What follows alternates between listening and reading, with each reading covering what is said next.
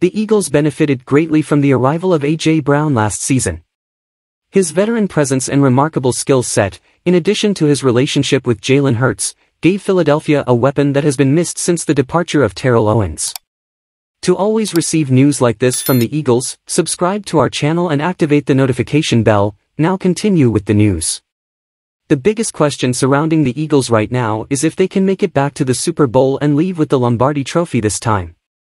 A.J. Brown will be a key ingredient in making that happen. His chemistry with Jalen Hurts should only get better in their second season together. But can he be more dynamic than last season? How much better can he be? We know he can make the contested catches and run routes around anyone's favorite cornerback. While the key to all of this is health, Brown is in line to repeat a tremendous campaign with another stat line for the record books. But how high of a ceiling does Brown have? Can the 25-year-old wideout continue his trend of dominance or even add another extension to his game? Only time will tell but Brown looks determined to make sure that this offense is unstoppable.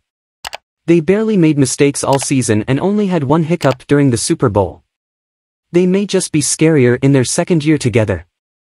My prediction for A.J. Brown this season is 83 receptions for 1,382 receiving yards and 15 touchdowns. In year one he broke Mike Quick's single-season record for receiving yards and in year two he'll break Terrell Owens' record for most receiving touchdowns in a season. How will his second season in Philadelphia be? Leave your comment.